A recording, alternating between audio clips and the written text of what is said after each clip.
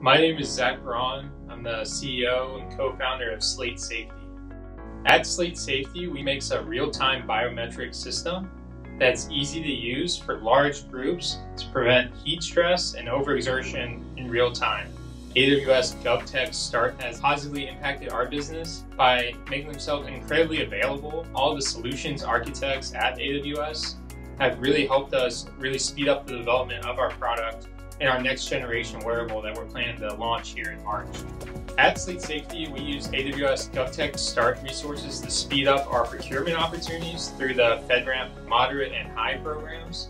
And then we also really leverage IoT Core to provide customizability between the first responder community, military community, and the industrial safety community. So it really allows them to set customized alerts that really work well for their own individual deployments.